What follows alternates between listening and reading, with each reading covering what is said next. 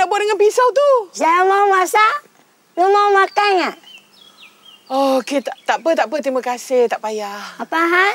Uh, minta maaf, Puan Ong. Saya makan makanan halal saja.